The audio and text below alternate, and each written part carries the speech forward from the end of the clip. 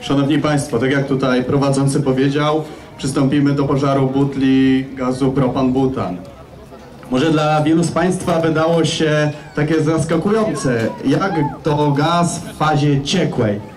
Natomiast y, gaz w momencie sprężenia w butli jest w formie cieczy i dopiero w momencie rozprężania się mamy gaz i formę gazową. Taka butla to jest 11 kg i 27 litrów cieczy sprężonej.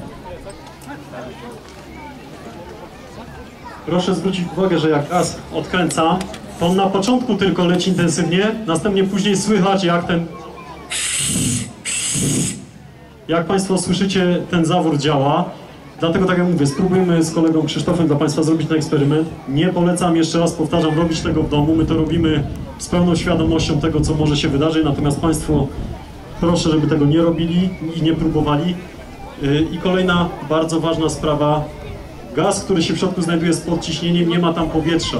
W przypadku gazu propan-butan nie ma więc możliwości zassania gazu do wewnątrz. Więc w przypadku tego, gdy gaz nam się będzie palił i butla będzie stojąca, nie zamknięta w jakiejś szafce, to tak naprawdę mamy całkiem sporo czasu, żeby ten budynek opuścić. Natomiast gdyby ta butla była przewrócona, to wtedy Państwo muszą wiedzieć, że już jest bardzo niebezpieczna sytuacja i należy się jak najszybciej ewakuować. Co innego acetylen, ale to już myślę, że ci z Państwa, którzy się fachowo zajmują spawaniem gazowym na pewno wiedzą, także dzieci ani Państwo tej wiedzy posiadać nie musicie, bo najczęściej z tym gazem się nie spotkacie.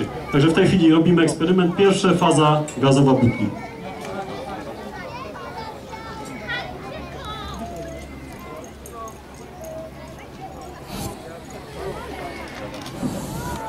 Widzicie Państwo, w tym momencie mamy butlę, z której bez zabezpieczenia, bez reduktora wydobywa się gaz pod naturalnym ciśnieniem. W tym momencie mamy do czynienia z fazą ciekłą. Zadziałało zabezpieczenie w butli, ponieważ taka rzecz nie powinna się wydarzyć w standardowym użytkowaniu i to urządzenie zabezpieczające zadziałało.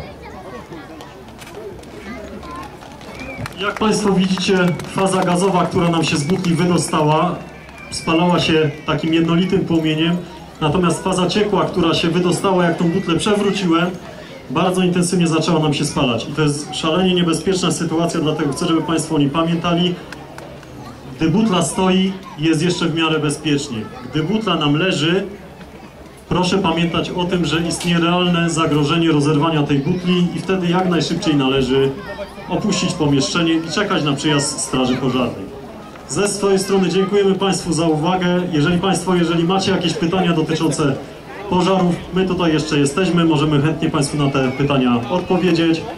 Dziękujemy serdecznie za uwagę, do zobaczenia.